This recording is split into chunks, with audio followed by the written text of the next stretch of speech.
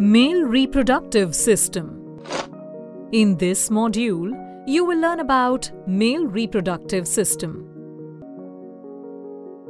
All living beings reproduce to form new generation of organisms. Human beings do so by the process of sexual reproduction. Sexual reproduction, as you already know, involves the fusion of male and female gametes and thus involves both male and female partners. Let us learn about the male reproductive organs here.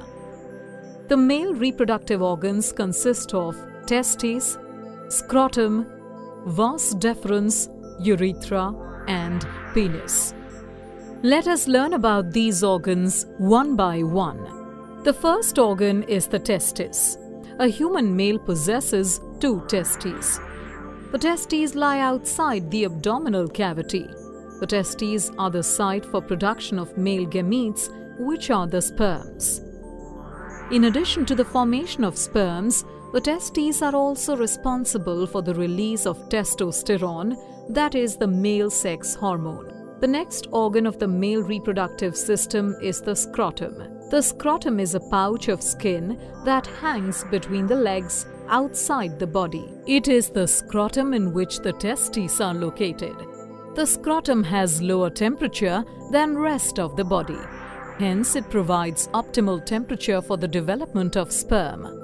The next organ is the vas deferens. It is a long tube present close to the testes. Once the sperms are formed in the testes, they are carried to the urethra by the vas deferens. In the vas deferens, several ducts from different glands like the prostate and the seminal vesicle open up. These ducts release their respective secretions in the vas deferens. These secretions mix with the sperms and help in easy transport of the sperms outside the body. The next organ is the urethra. Like vas deferens, it is also a long tube that arises from the urinary bladder. It is the urethra where the vas deferens releases the sperms. The urethra then carries the sperms and releases it outside the male body through the penis.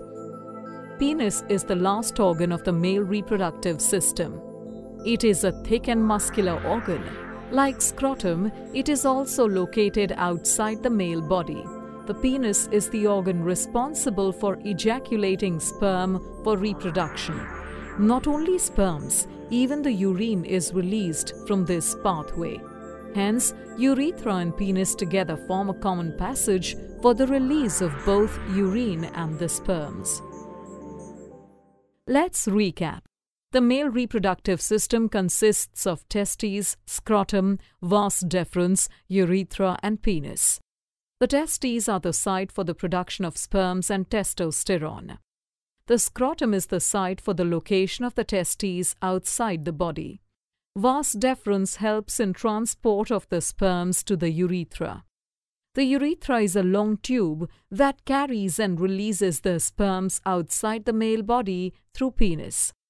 Located outside the male body, the penis is a thick and muscular organ that ejaculates sperms.